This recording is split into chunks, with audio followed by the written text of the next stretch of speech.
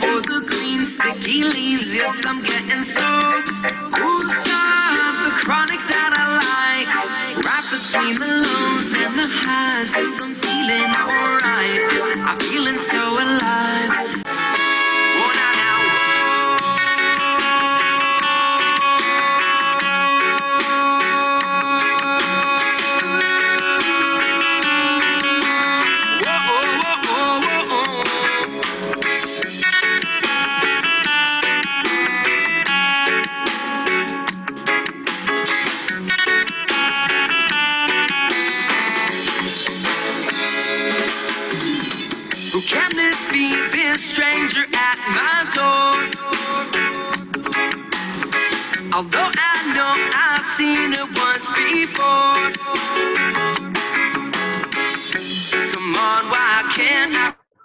We're gonna get started in like one more minute. I'm gonna let see if anybody else comes in. If not, um, I got a great presentation put forth, so we'll get started uh, really soon here. I see there's a couple more people coming in, so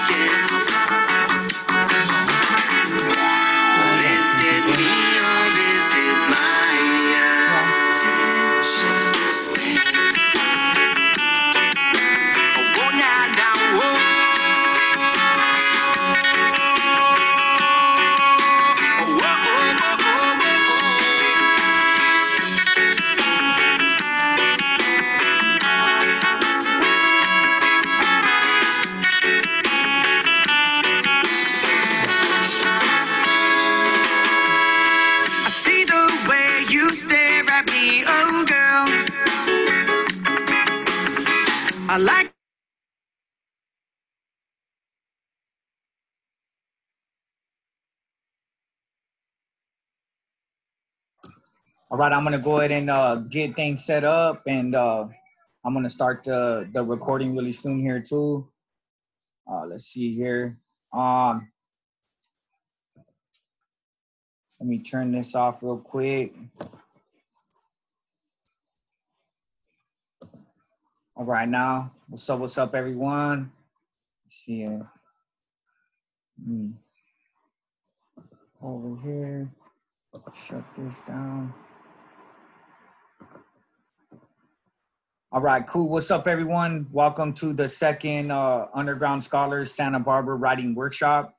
Um, today, I have a couple things in store, and uh, and like I said last week, uh, um, we sent out the curriculum vitae to everyone.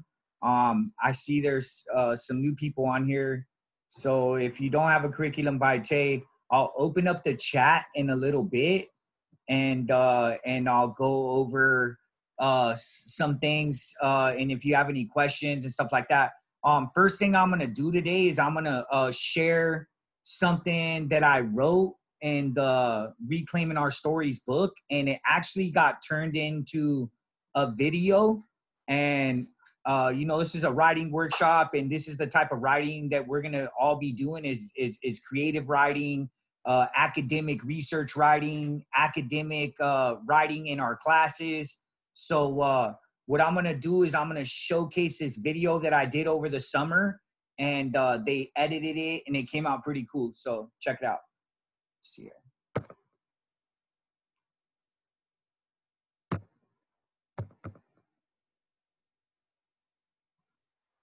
All right, let me see. All right, here we go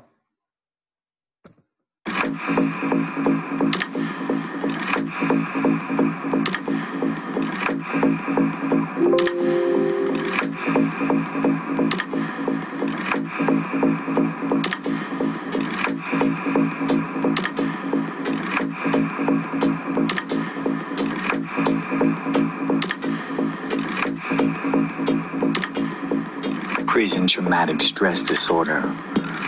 After serving my time in segregated housing unit, one day they cuffed me up and said I was going back to the mainline. They transferred me to a level four maximum security prison called Salinas Valley, better known as the Death Octagon, as so many inmates die or are killed there. I learned quickly this is a vicious place. The first yard I go to, I see a homie get his neck split with a shank. Yard recall. They leave us on lockdown for a couple of months, then it would happen again. Another stabbing, another long lockdown. This is how my time in Salinas Valley went. Then we started programming, going to yard and going to school, and out of nowhere, a vicious prison riot erupts. Us Southsiders against the Norteños. They rushed us with a bunch of homemade knives, but we outnumbered them by 25 and we savagely protected ourselves. This was my first experience with a prison riot. They are the bloodiest barbarian events, very hard to explain to a person who has never been through it. Right after this, I was then transferred to New Folsom. Two months later, I got in my next second chance. I was out at yard walking around with the homie around the track. I'll never forget this moment. A bird took a shit on his shirt. I started clowning him. Ha ha, Ese, you got shitted on by a bird. We continued to walk around the track to a water fountain so the homie could wash his shirt, not knowing that a bloody riot, one of the most gruesome ones in New Folsom State Prison's history, was about to erupt. I remember it got very quiet. The homie looked up at me and said, Is it me? Or did it just get super quiet? I looked over to see a couple of our homies digging up our stash of homemade butcher knives. I then seen all the homies gathered at the top of the hill in our property. I told the homie, let's get to our property. Something's up. We get up there and the homie hands me a huge butcher knife, looks me in the eyes and says we're rushing the Bay Area blacks. And within the blink of an eye, we were like army ants rushing at full speed. Why are we fighting? We're both oppressed. Why are we fighting against each other? Falling into the hands of what this system wants. As the Bay Area blacks came running towards us, I started to stab and stick a guy, and it all became a blur. I was screaming, Sur Trece, at the top of my lungs as I stabbed a guy who fell to the ground, and I heard as concrete chunks hit me in my face. I repositioned myself and I continued to stab the guy on the floor. I was in an unconscious state of mind full of warrior adrenaline that I didn't know existed in me. And again, boom, concrete chunks hit me in my face. I saw a prison officer zeroing in on me with a Mini 14 semi-automatic rifle pointed at my head. I then realized he was trying to kill me. I instantly stopped to take off, running up a hill to see a group of my homies getting three Bay Areas. We were then shot at again. By the time this battle ended, it had gone on for 10 minutes. When I sat down and came back to my mind, I seen bloody bodies laying everywhere.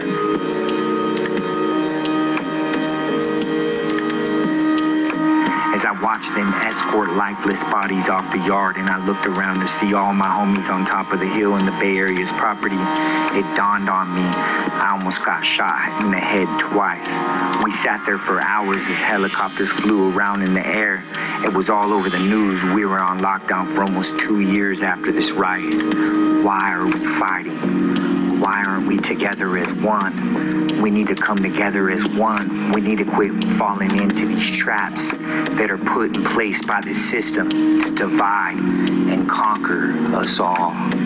It's time to unite and come together, black power, brown pride, and realize that as long as we're divided, we're conquered. Until the day that we're together as one, we will not be able to abolish the system that's in place. So it's time to grab hands together as one, as one force, and fight off this brutal state of oppression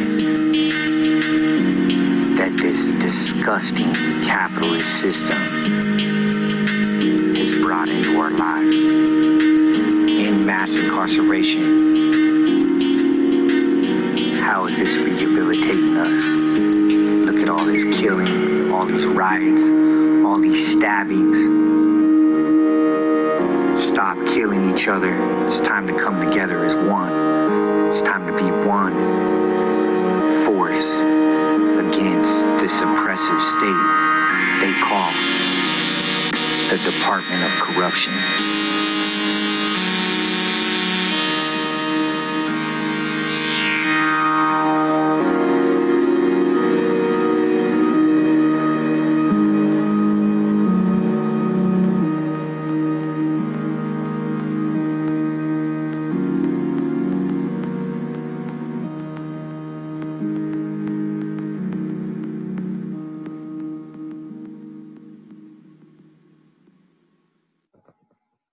So yeah, that was uh one of uh the little things that we that uh we did over the summer and was actually a really cool project uh with the Odyssey uh project right here at UCSB.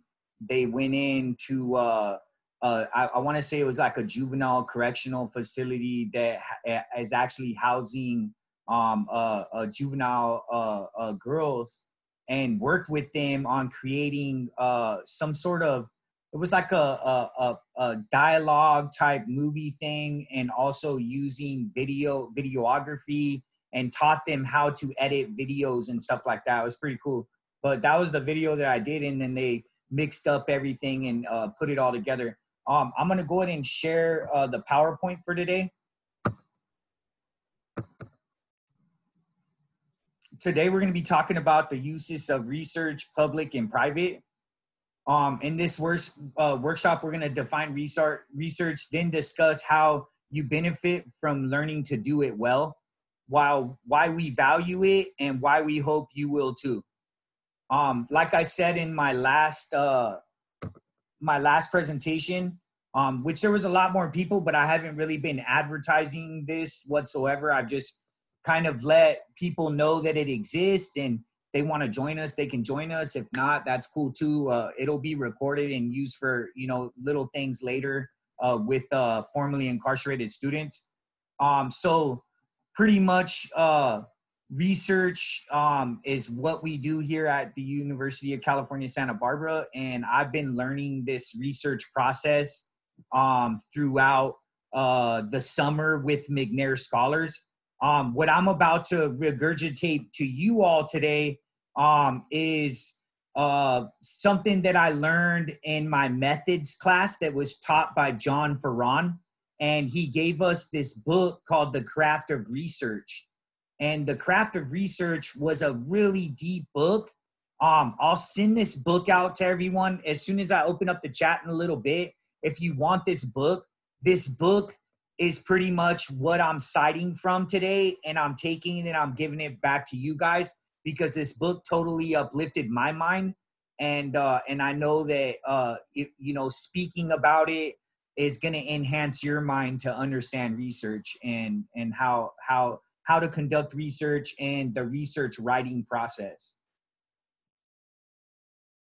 Thinking in print. Whenever we read about a scientific breakthrough or a crisis in world affairs, we benefit from the research of those who reported, who in return benefited from the research of countless others. When we talk into a library, we are surrounded by more than 25 centuries of research. When we go on the internet, we can read millions of reports written by researchers who have posed questions beyond number gathered untold amounts of information from the research of others to answer them, then shared their answers with the rest of us so that we can carry on their work by asking new questions and we hope answering them. Teachers at all levels devote their lives to research. Governments spend billions of dollars on it, businesses even more.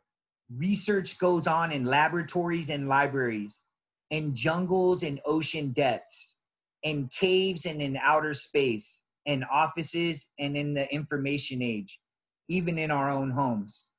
Research is, in fact, the world's biggest industry. Those who cannot do well or evaluate that of others will find themselves sidelined in a world increasingly dependent on sound ideas based on good information produced by trustworthy inquiry, and then presented clearly and accurately without trustworthy published research, we all would be locked in the opinions of the moment, prisoners of what we alone experience, are dupes to whatever we're told.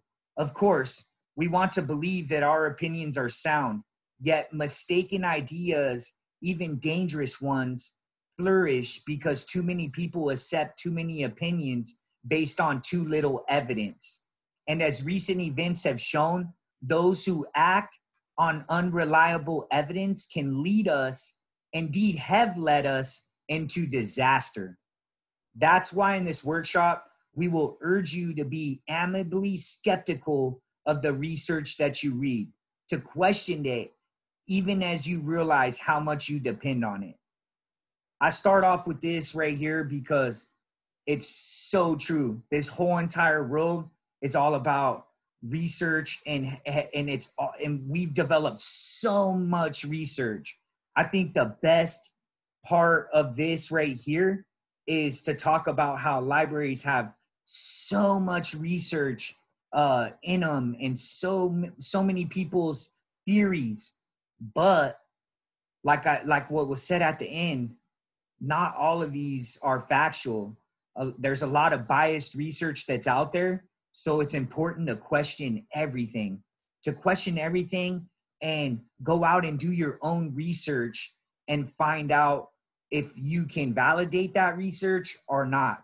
And you know, and there's still a lot of there's so much that's unanswered in this world but you know uh, be skeptical on the research that you read is a very uh, uh, uh, huge point to take away from that slide right there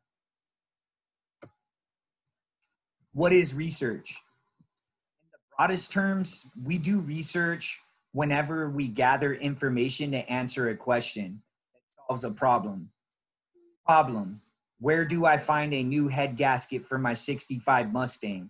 Research. Look in the yellow pages for an auto parts store, then call to see if it has one in stock. Problem. To settle a bet, I need to know when Michael Jordan was born. Research. You Google Michael Jordan's birthday. Problem. I'm curious about a new species of fish. Research. You search the internet for articles in newspapers and academic journals we all do that kind of research every day. And though we rarely write it up, we rely on those who wrote it up theirs. Jordan's biographers, the fish discoverers, the publishers of the yellow pages, and the catalogs of the auto parts suppliers. They all wrote up their research because they knew that one day someone would have a question that they could answer. If you're preparing to do a research project, not because you want to, but because it's been assigned, you might think that it is just make work and treat it as an empty exercise. We hope you won't.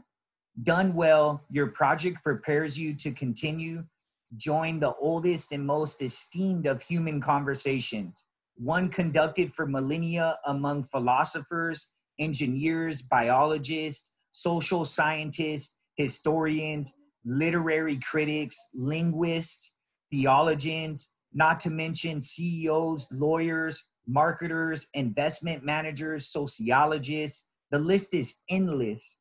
Right now, if you are a beginner, you may feel that the conversation is one sided, that you have to listen more than you can speak because you have little to contribute. If you are a student, you may feel that you have only one reader, your teacher.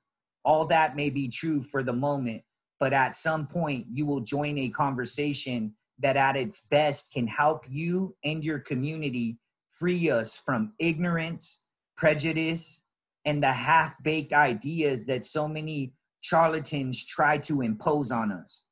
It is no exaggeration to say that maybe not today or tomorrow, but one day, the research you do and the arguments you make using it can improve, if not the whole world, then at least your corner of it that's vital. You know, uh, uh, you're going to be inserting yourself in a bunch of different discussions. Um, if not, you know, you're going to focus and center your research around, uh, you know, pressing issues in our communities, and uh, you're gonna you're gonna figure out answers. You know, uh, one thing that was quoted to me and I carry close to my heart is those closest to the issues and the problems are the ones closest to the solutions. And uh, I'm very huge on credible messengers.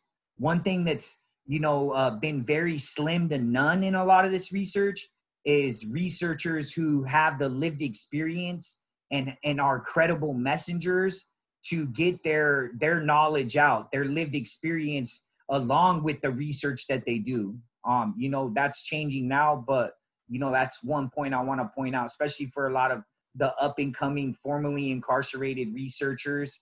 Um your research is it's gonna it's gonna come up with solutions a lot of solutions to a lot of the problems that our communities are facing today why write it up well I'll tell you right now, my theory on why write it up is because writing is one of the most powerfulest tools and powerfulest weapons in this world. All this, all this world is written up. It there, you know, all these countries have constitutions, have all these things that were written up. They were written up, policies written up. Everything is written up. So we live in a world that's written up and for some of you, though, the invitation to join this conversation may still seem easy to decline. If you accept it, you'll have to find a good question.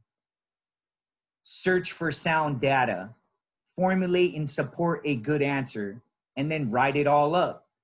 Even if you turn out a first rate paper, it may be read not by an eager world, but only by your teacher.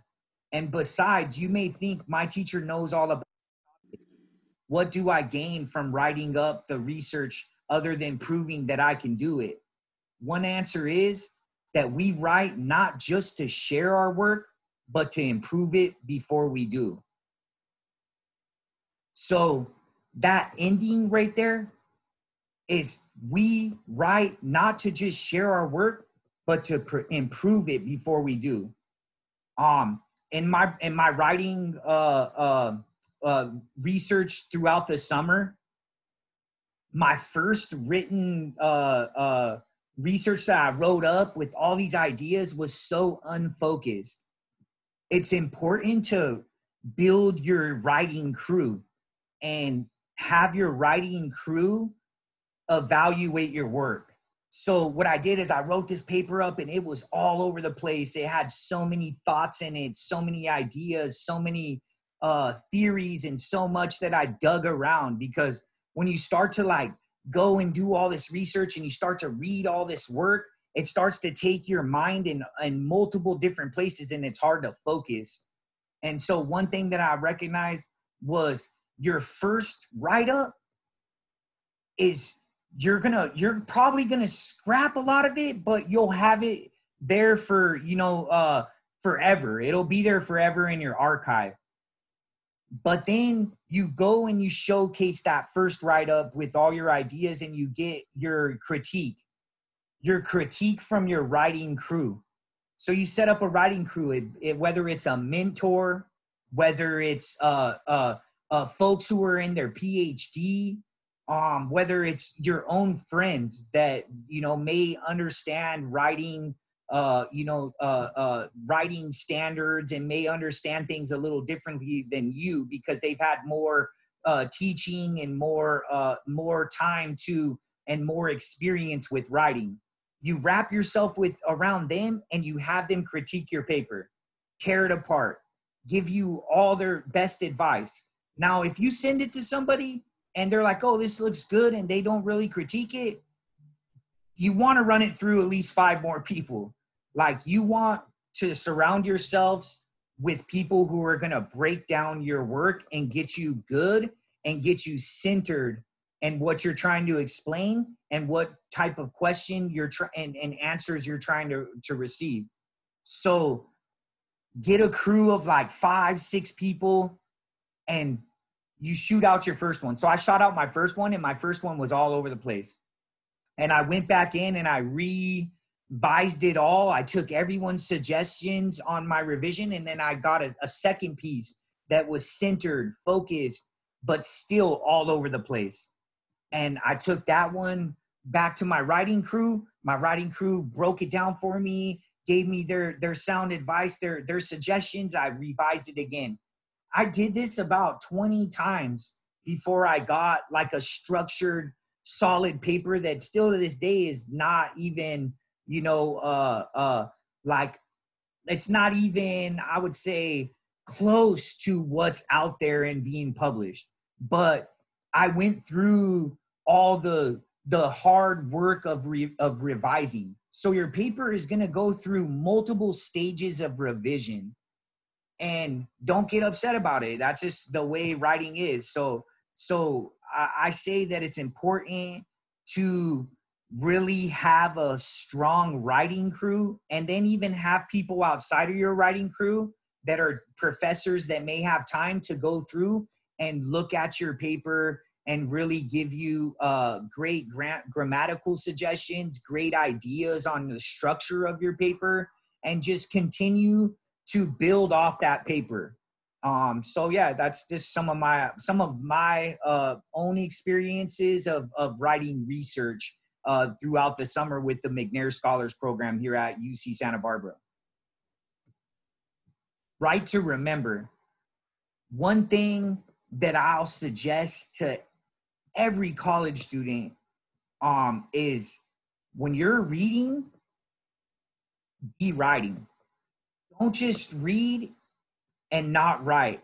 You gotta stay writing. It's important to write and to and to uh, take down everything that you're reading and and regurgitate it out on paper. It's super important. Don't let uh, the readings uh, uh, intimidate you because they're dense. There's a lot of big words, but I'm telling you, what you're reading went through about a hundred revisions. So they went through and they added big words to it they went through and totally restructured and revised that work before it got published. So what you're reading can be dense, it can have language that you don't understand, and that's because they went through and they took they had a thesaurus, they had a dictionary, and they were just right there uh, putting words together and piecing them in. And so what you're reading is finished revision work that probably could go through 10 more revisions, but they wanted to get it published. So it's important for experienced researchers first write just to remember what they've read. And I challenge all college students to write what they have read. Write it up. Don't sit there and try to read it all the way to the end. While you're reading, you should be writing a whole doc on what you're reading. And how I've been doing it and what's been helping me and a little suggestion is I've been making an annotated bibliography. So I write everything that I'm reading out of this book or out of this uh, academic research paper, and I write it all down. And then I go in and I piece it together into everything that I took from that reading. And then I put my citation on the top, and I have a whole doc that I've created with an annotated bibliography of everything I've read. So now when I'm going in and I'm writing research in the future, all I do is I go to my annotated bibliography and I just read the two paragraphs or three paragraphs of what I just read and I cite. I'm like, oh, I can cite this. This goes with my writing that I'm doing. I can cite this. This goes with my writing that I'm doing. Everything that I am actually uh, reading because I was writing and reading at the same time. Don't get caught in trying to read all this stuff and don't get caught not writing on it. Because I, I guarantee we're all humans and you're not going to remember this stuff. One thing that writing has taught me, and and and you know, I'm I'm I'm I've barely been in school doing that. I barely learned how to write with commas and periods when I was 27 years old. So I barely been doing all this stuff. You know, I barely learned how to do uh, the the structure of, of paragraphs. So one thing that writing has shown me is everything that I'm processing in my mind. The only way you know what you're taking into your mind is by writing. That's the only na- way you know what you're learning. So it's important to read and write at the same time so that you can take those concepts and you can have them for future reference. And also it's important for you to understand what you're what you're understanding what you're taking in.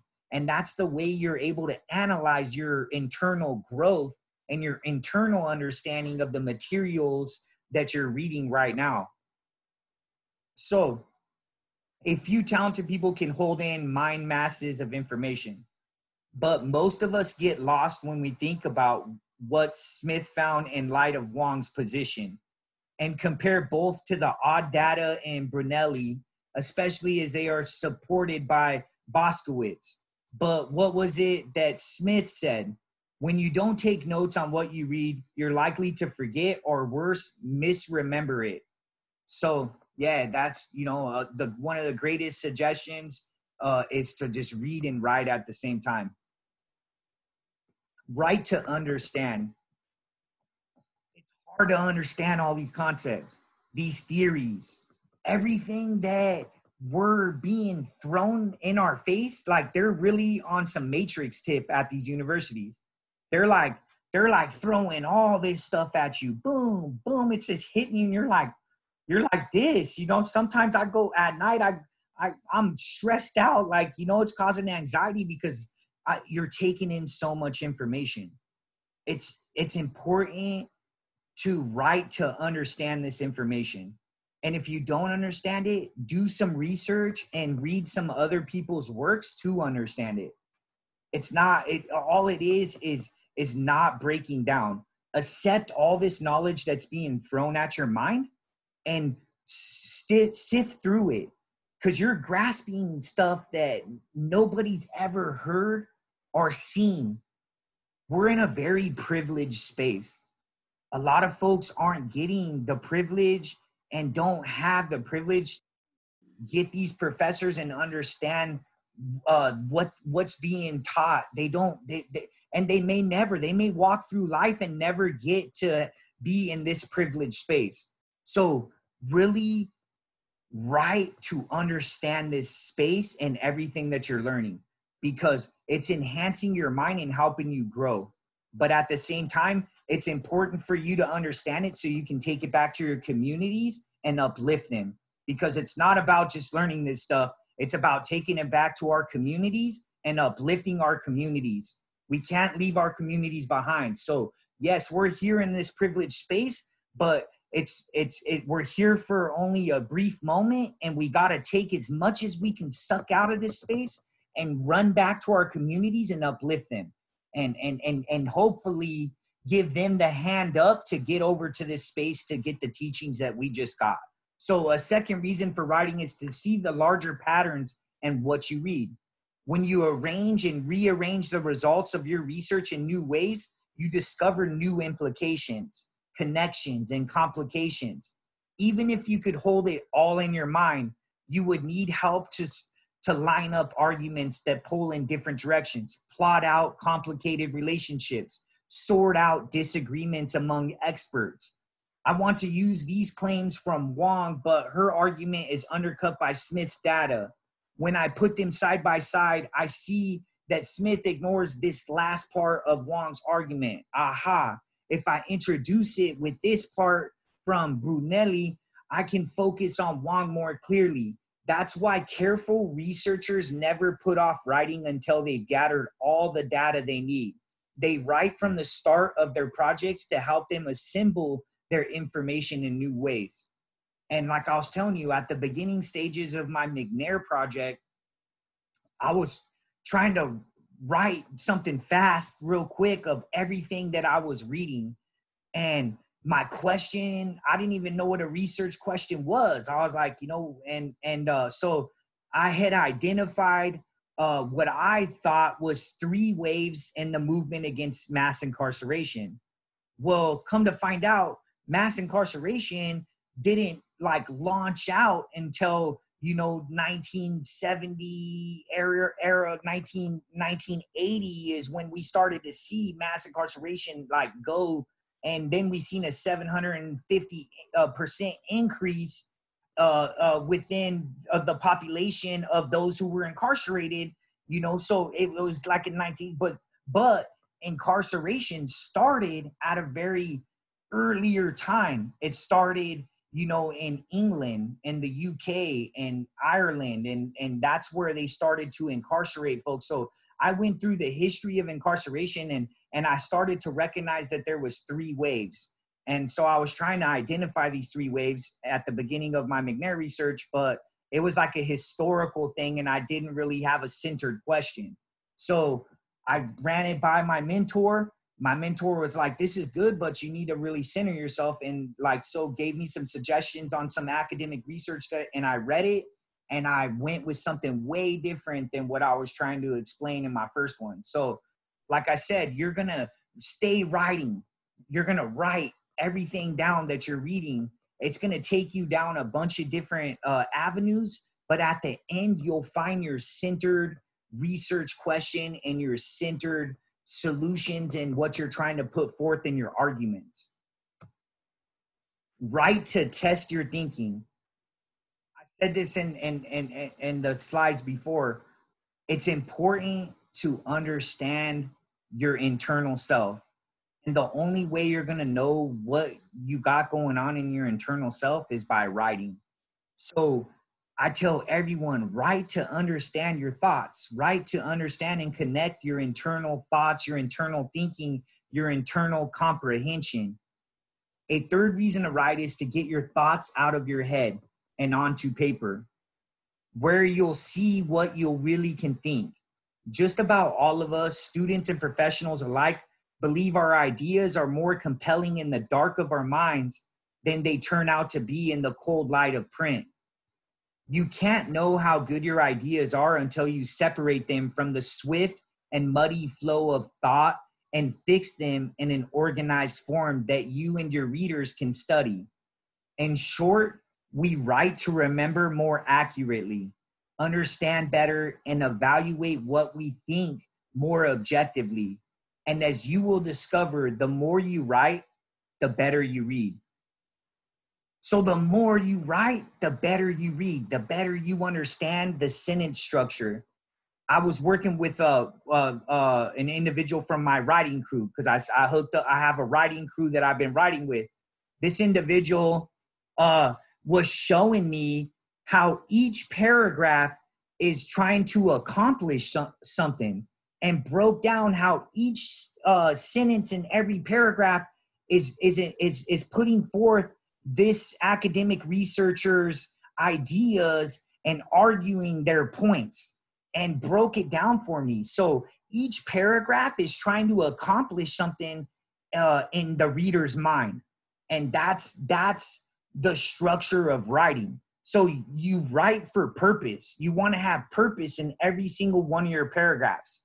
And so that was something that I learned this summer with McNair. Like, I didn't know that you had th- these three sentences in this paragraph, and then you had, you know, three sentences in this next paragraph, and three sentences in this next paragraph that were all leading up and answering your question of what you were trying to get across and argue.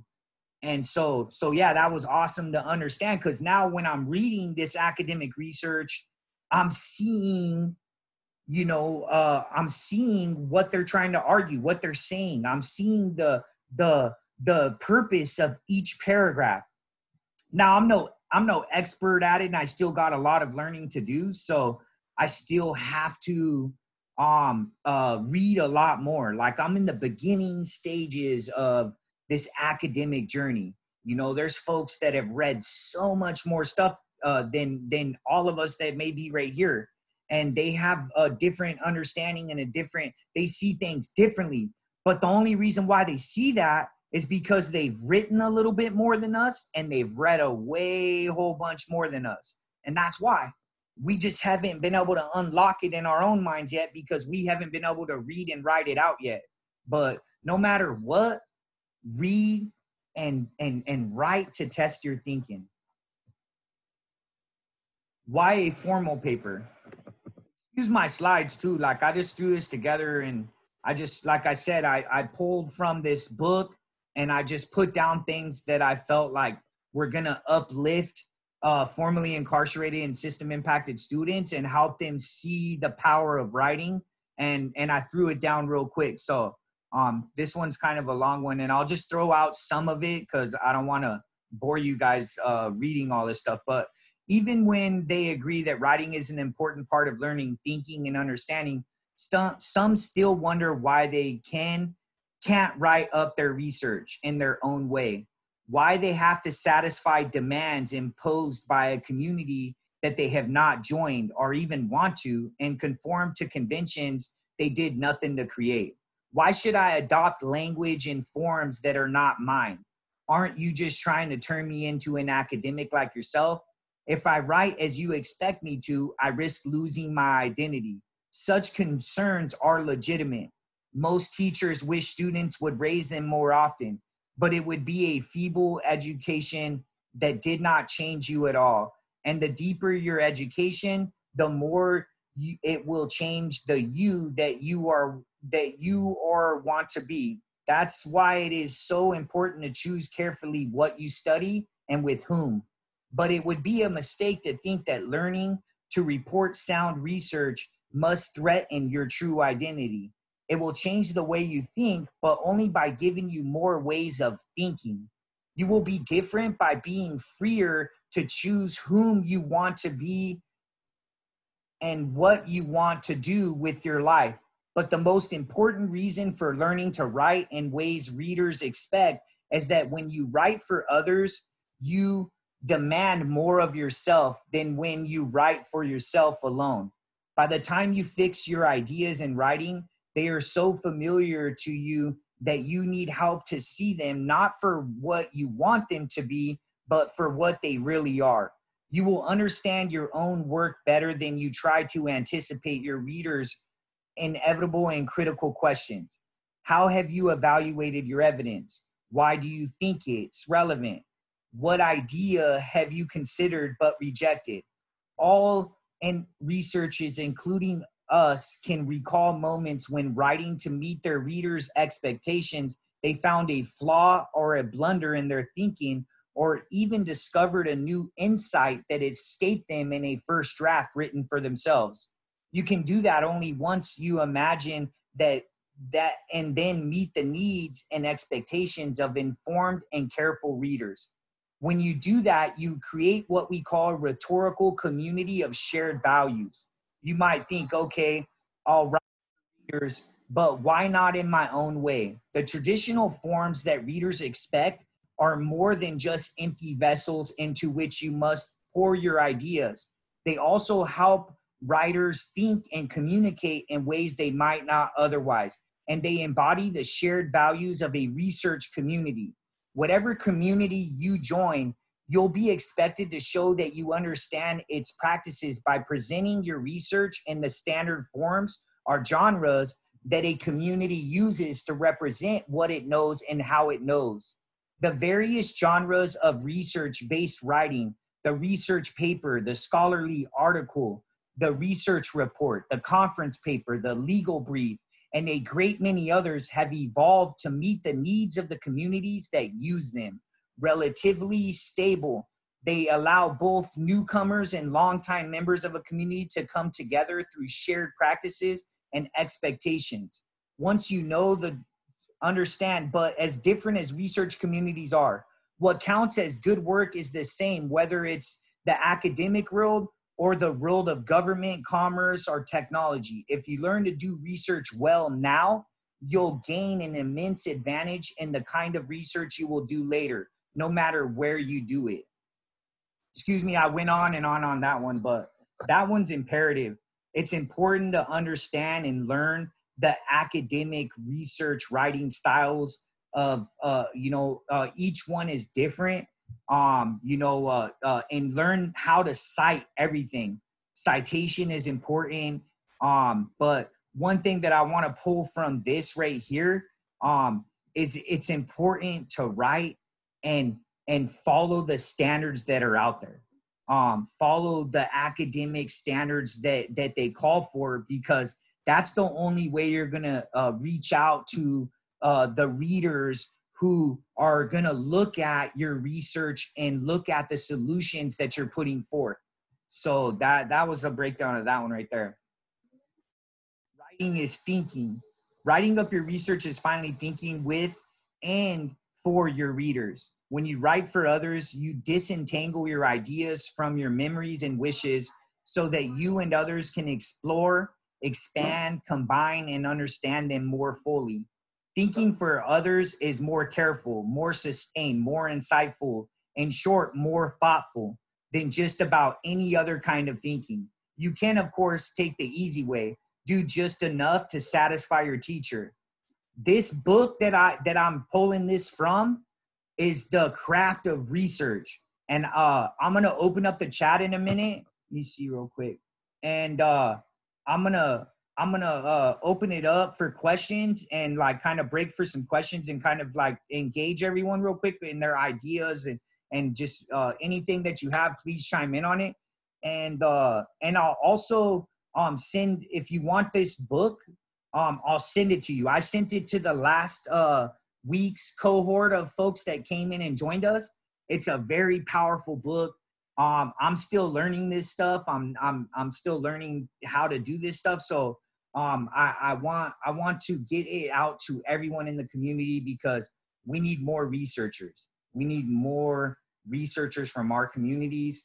Um, so I want everyone to take this to their community and teach their community how to do research, how to write policy, how to write uh, uh, academic uh, research papers. And so I'll get it out. Um, so let's see here. I'm gonna open it up right now too to see here.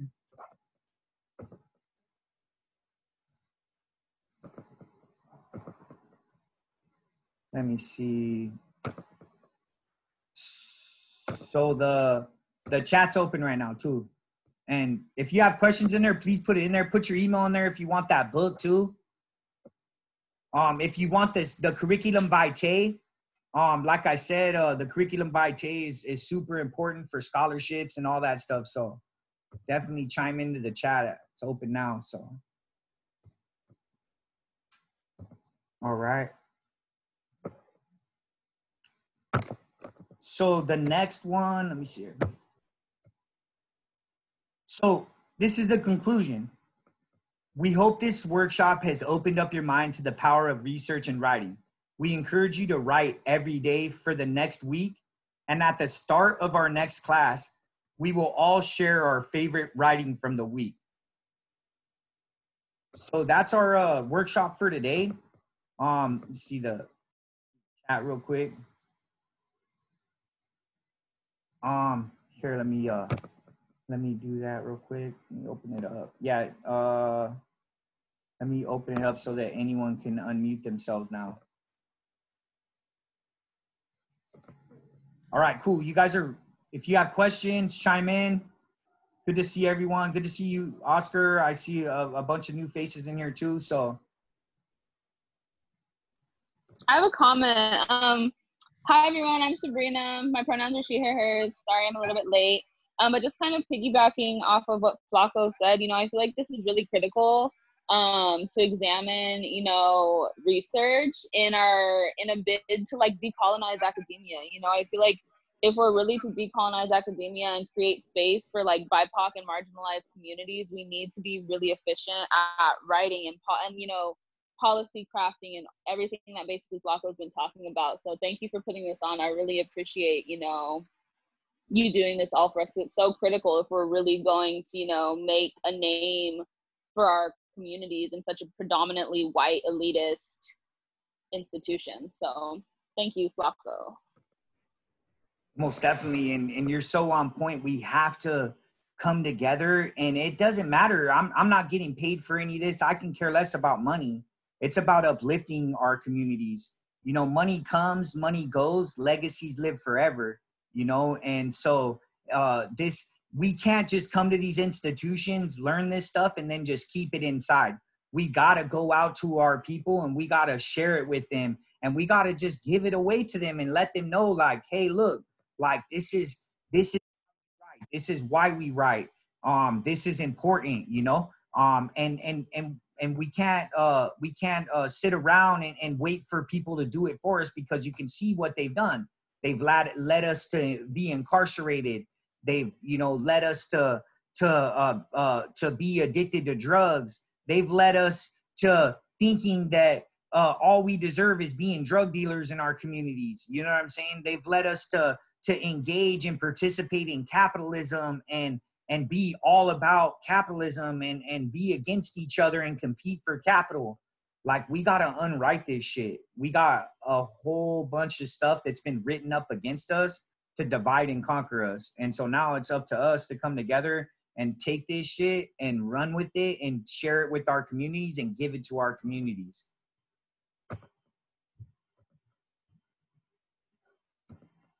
Awesome. Is there anybody else that has any more questions? Uh, if you want that book, please uh, put your email in there too.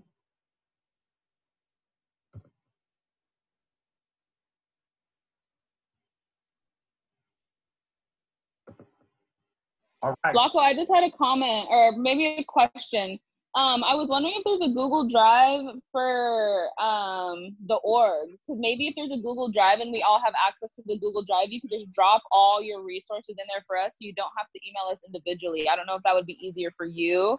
Yeah, um, yeah, we um, got we we got one set up now. So uh, oh, got you. Yeah, definitely. Uh, um, also, uh, uh, I was supposed to do that. Oh my gosh, I'm so sorry. Gilbert told me to help with the folders. Did you guys yeah, no, he, he's got it. Yeah, yeah. He's, I just remembered. It. Right. No, he's got it. So, so yeah, okay. we're gonna send all that out too. So okay. there'll be so much awesome. stuff there. So awesome. Sorry about that, guys. I spaced out, but awesome. Thank you for taking care about that. Taking care nah, of that. You're, you're good. All right, now, well, that that sums up uh, the writing workshop for today. Um, if y'all have uh, any more things that you would like to add to it, um, I'll also uh, forward the video as well. Um, for those who missed the beginning of the class too, um, you could check out the the video as well. And that's it for today. Um, thank you for taking the time out your day to come through and, and get this, you know, necessary understanding of the power of writing. And please take it back to your communities and share it. Thank you, Flaco. All right, everyone, take care. Thank you. Bye-bye. Stay safe.